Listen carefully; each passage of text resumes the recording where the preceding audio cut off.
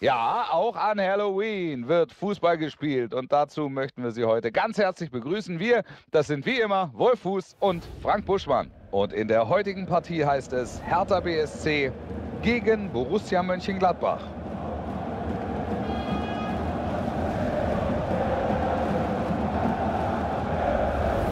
Und so werden es die Hertaner heute angehen. Wir sehen die Mannschaft heute mit der 4-5-1-Formation.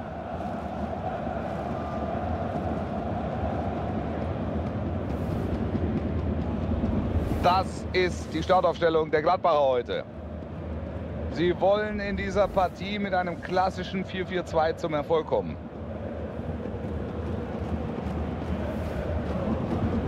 Sie werden hier heute selbstbewusst auftreten in dieser Auswärtspartie. Schließlich sind sie das treffsicherste Team der Liga. Und das gibt natürlich für diese Partie jede Menge Selbstvertrauen. Buschi, was erwartest du von der heutigen Gastmannschaft?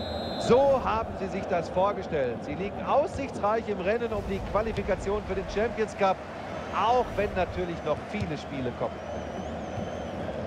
Weiser.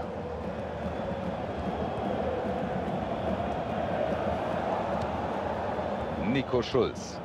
Da wird er gestört.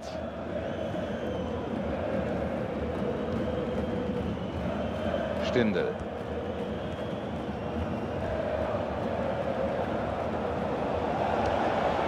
Jetzt gibt's Abstoß.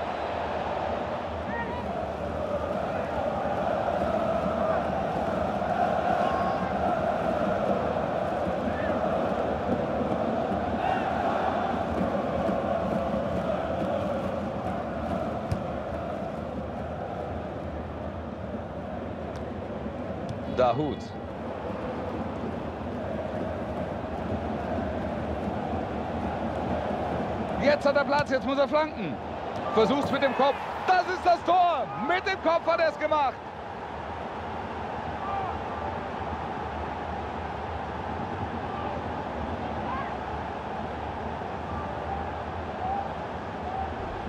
Diesen Treffer schauen wir uns gerne nochmal in der Wiederholung an. Ja, da konnte er ja fast nicht anders, als hier zu treffen. Die Hereingabe perfekt. Wunderbar anzusehen, wirklich. Und da haben wir noch mal das klasse Kopfballtor. Toll vorbereitet und dann stimmt auch das Timing beim Kopfball. Absolut sehenswert.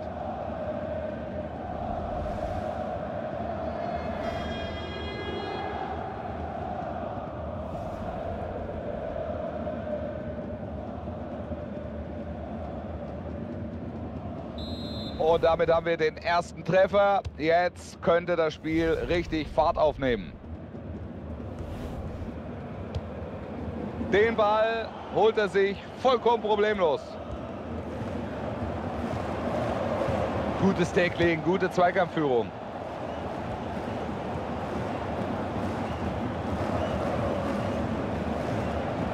Jetzt vielleicht. Da kommt er mit der Faust an den Ball. Gute Aktion.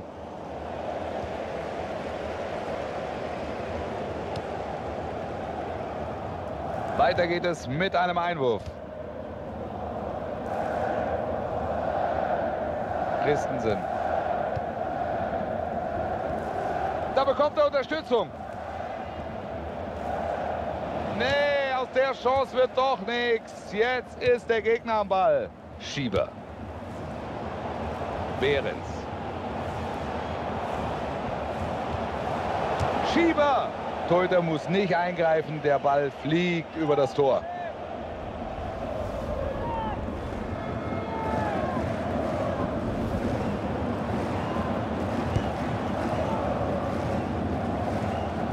Xhaka. Nicht gut vom Verteidiger.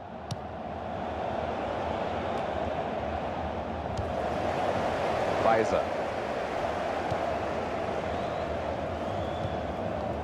Vandenberg.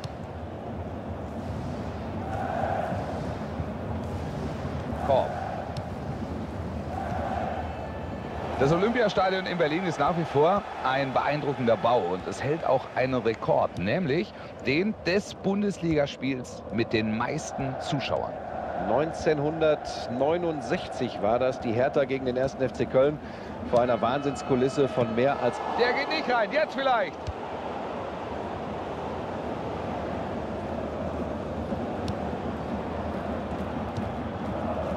Behrens. Vandenberg.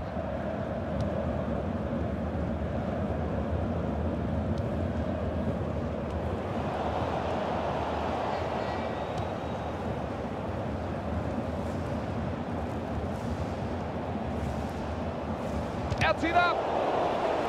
Er wirft sich in den Schuss, das war wichtig. Das gibt einen Eckball.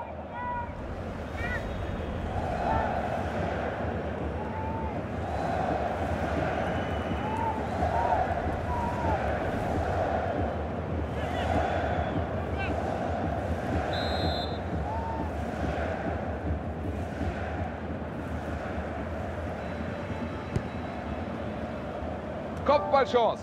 Der Kopfball ist drin.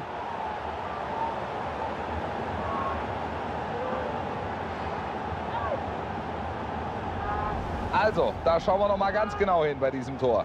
Klasse Ecke und super Abschluss. Das Tor hat jetzt noch mal eine andere Kamera eingefangen. Danke an die Regie dafür. Schaut doch gut aus. Es steht 2 zu 0. Bisher spielen sie hier ohne große Probleme.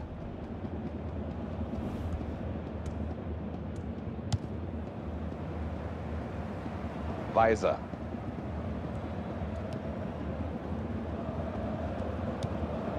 Da ist er aufmerksam. Richtig, dass er hier pfeift. Das war ein Foul.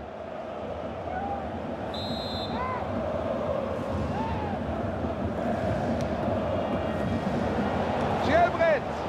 Ja, da kommt er mit dem Kopf dran, aber der Ball geht daneben. Ja, kein richtiger Druck dahinter und so kann er ihn nicht platzieren.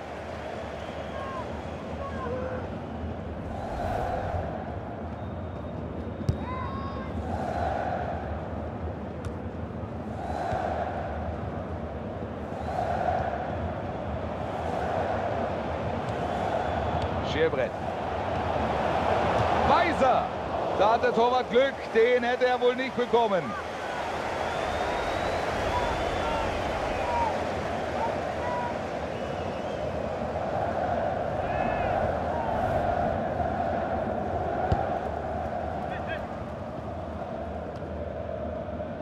Weiser.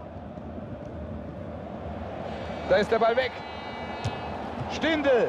Klasse aufgepasst vom Torwart. Eckstoß also.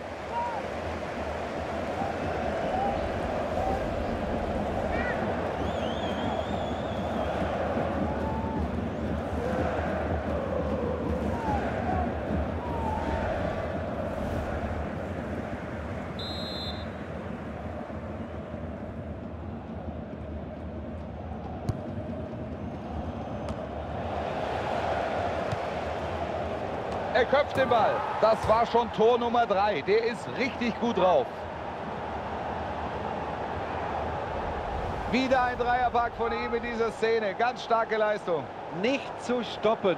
Muss nicht seine letzte Bude gewesen sein. Ja, das ist äh, einfach super gemacht. Genau gesehen, wo die Kugel hinkommt, im richtigen Moment hochgestiegen, genau platziert, ein Traumtor.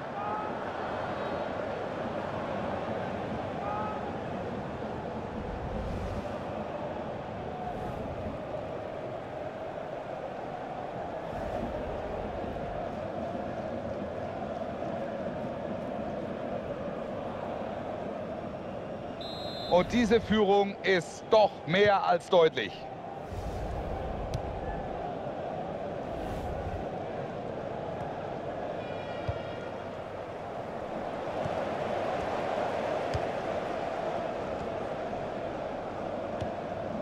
Weiser. Er versucht. Chance lebt noch. Gefahr vorbei. Den Ball hat er jetzt sicher.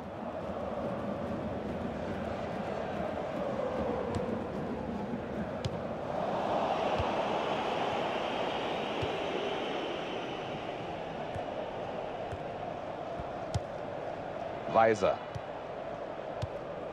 Behrens. Da geht er hin und faustet den Ball weg. Da passt er auf und geht dazwischen.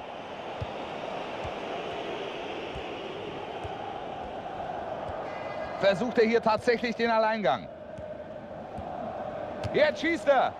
Der Ball ist drin.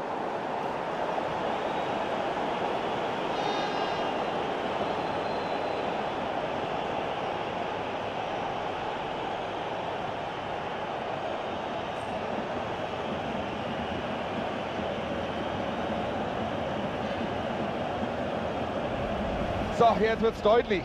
Sie lassen auch zunehmend die Schultern hängen. Oder musst du aufpassen, ansonsten wird es ein Debakel.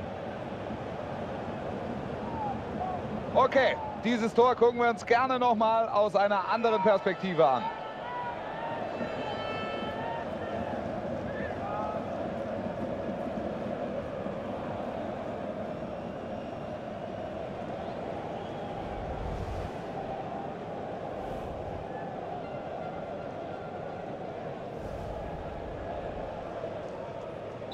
Ein einseitiges Spiel heute. Schauen Sie sich diesen Spielstand an. Chiachi. Schierbrett. Brooks. Vandenberg. Stindel. Da kommt der Schuss. Und das Tor.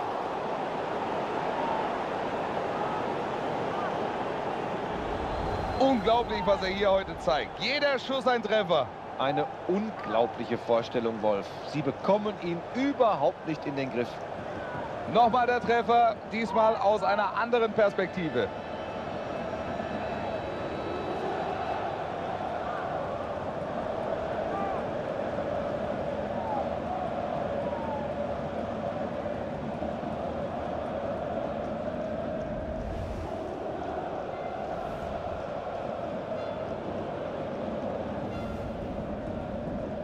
Sie hören nicht auf, spielen weiter nach vorne. Und daher steht es mittlerweile 5 zu 0.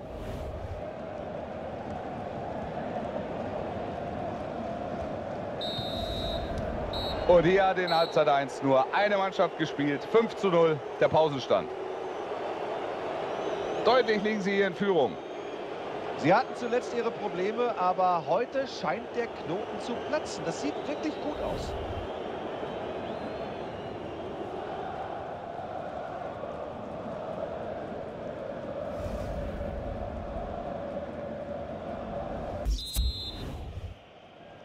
Und jetzt laufen die zweiten 45 Minuten. Die erste Hälfte war eine klare Angelegenheit. Ich bin gespannt, ob sie noch mal ins Spiel zurückkommen. Und er schießt. Das ist kein Problem. Der Torhüter hat den Ball.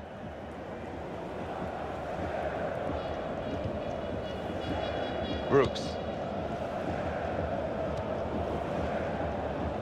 Weiser. Komische Stimmung hier im Stadion. Es ist extrem ruhig geworden. Ja, nicht mal Pfiffe hört man. Und die wären ja nun wirklich berechtigt. Aber die Fans müssen sich wohl auch erstmal sammeln.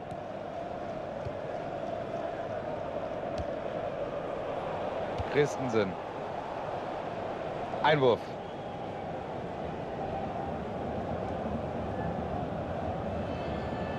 Brooks. Und jetzt gehen sie über die Flügel.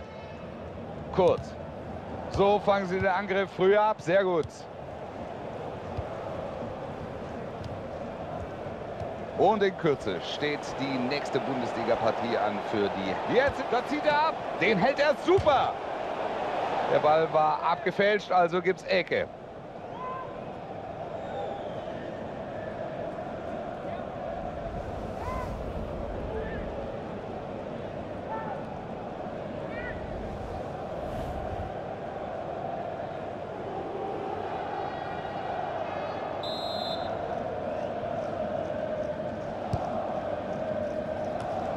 Das ist das Tor. Mit dem Kopf hat er es gemacht.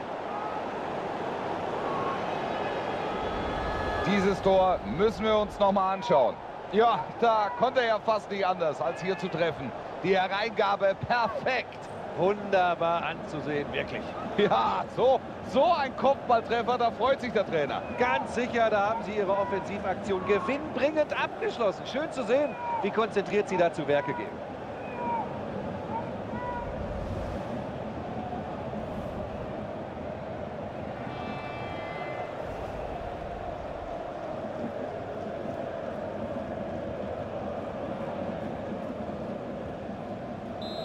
Absolut dominant, wie sie hier auftreten. Die logische Folge, das 6 zu 0.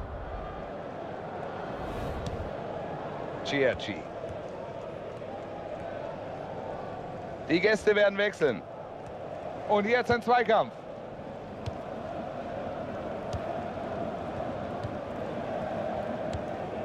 Schieber.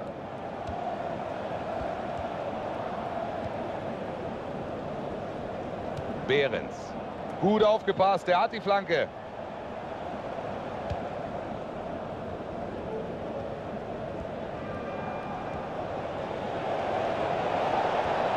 Er schießt. Ganz starke Aktion vom Torhüter. Gehalten, aber weiter gefährlich. Der Ball erstmal raus. Gut gemacht. Kurze Unterbrechung. Der Ball ist im Seitenhaus. Und jetzt die Auswechslung. Da können wir uns ja sein Tor von eben noch mal ansehen.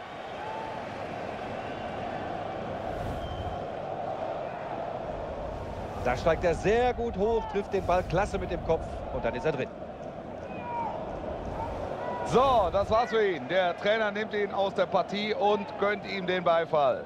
Und das völlig zu Recht. Er hat heute wirklich eine klasse Leistung gezeigt.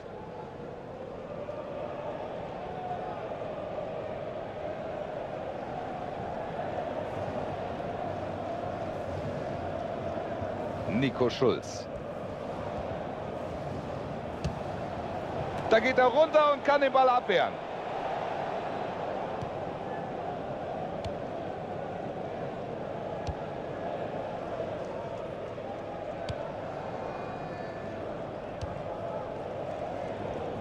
Sie rücken schön nach, bieten sich an. Flanke zu ungenau, so hat sie der Torwart.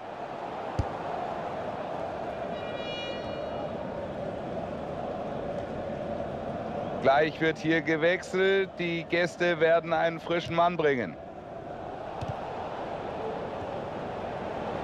Er lässt gute Ballführung. Schießt er ihn rein.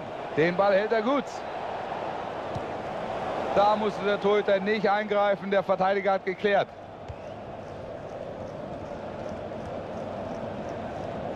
Jetzt hätte er Anspielstationen. Macht er ihn. Der geht an die Latte und zurück ins Feld. Mit der Faust kann er hier retten.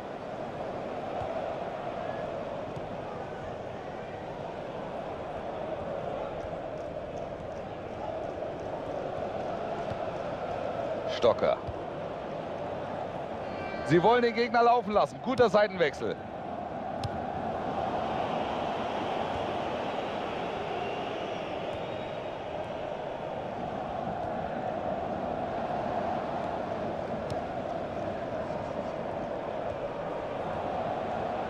Geht am Gegenspieler vorbei.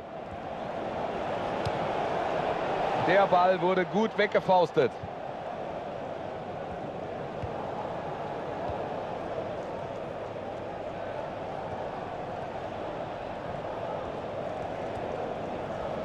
Und jetzt ein Schuss. Super Einsatz vom Torhüter. Gut geklärt, das war wichtig. Und jetzt wird es Einwurf geben. Gleich wird hier ausgewechselt.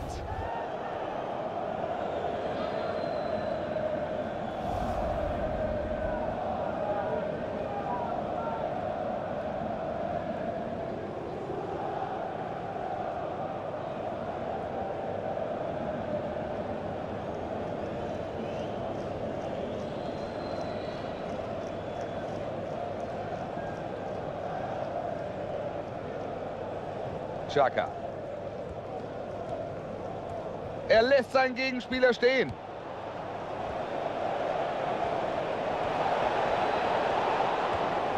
Da zieht er ab. Gute Aktion vom Torhüter.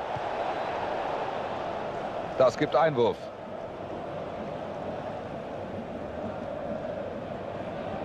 Weiser. Darida. Ich sehe Bewegung auf der Bank. Es gibt gleich den Wechsel. Chaka.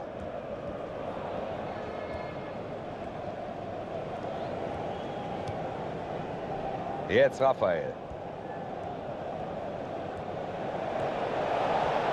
Er versucht's. Da passt der Torhüter auf. Gleich kommt der Eckstoß rein. Da ist die Auswechslung. Die Fans feiern ihn. Kein Wunder. Ja, definitiv einer der besten Spieler auf dem Platz.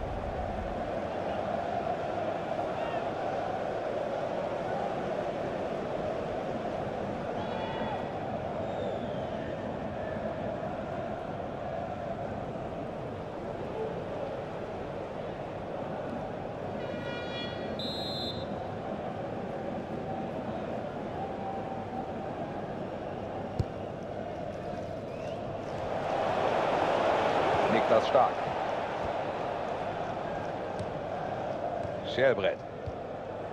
Den spielt er wieder zurück. Kalu.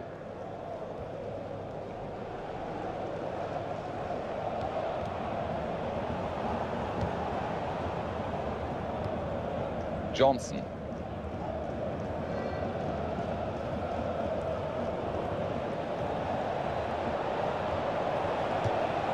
Da passt der klasse auf.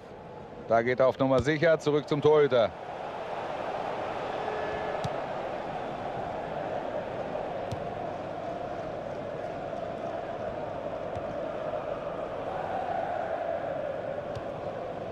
Behrens. Es gibt noch zwei Minuten obendrauf. Kalu. Vandenberg.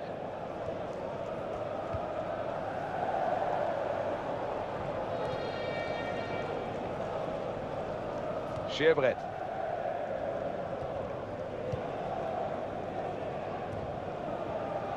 Kommt jetzt der Ball in den Strafraum. Die Hereingabe kommt zu keinem Mitspieler.